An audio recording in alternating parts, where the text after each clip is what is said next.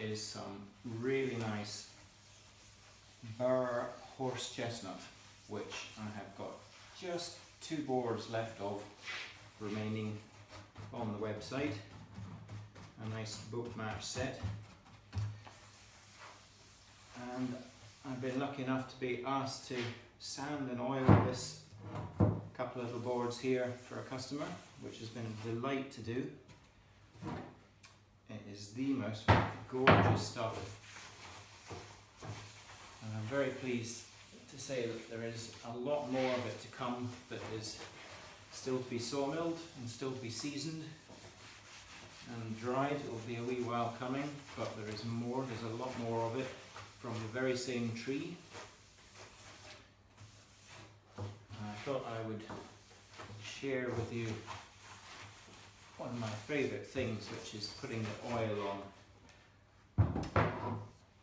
when it has been beautifully sanded on such a lovely timber as this when all the figure comes showing through beautifully as soon as you put the oil on. I can leave that now for about 20 minutes and I'll check back and rub off all the excess.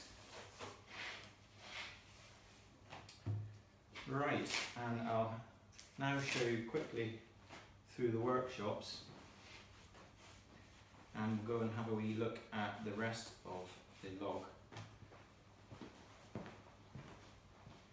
First we'll have a little close up if we can see what we can see until it's fully oiled and polished you don't quite get all the richness of the, the figure but you can start to see in that heartwood colour that dark brown is amazing and that burr.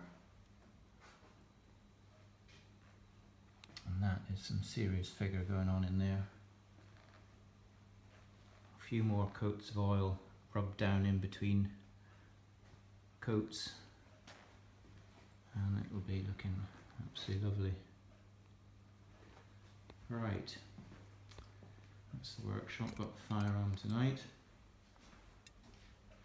some other some little elm shelves I'm sanding and oiling for a customer for putting a set of very nice shoes onto for display.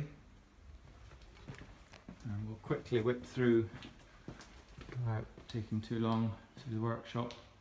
That's some olive ash boards I've been planing up this week and getting ready for sale. You make some nice dining tables or worktops. There's machines that's the resaw the old 1950s planer thicknesser, crosscut, various dust extractors, hello doos,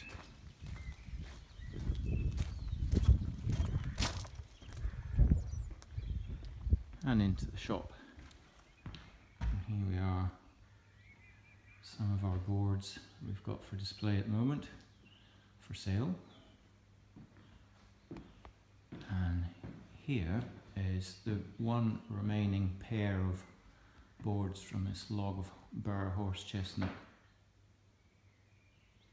I think would make a very grand dining table or uh, well just need a bit of imagination what to do with it.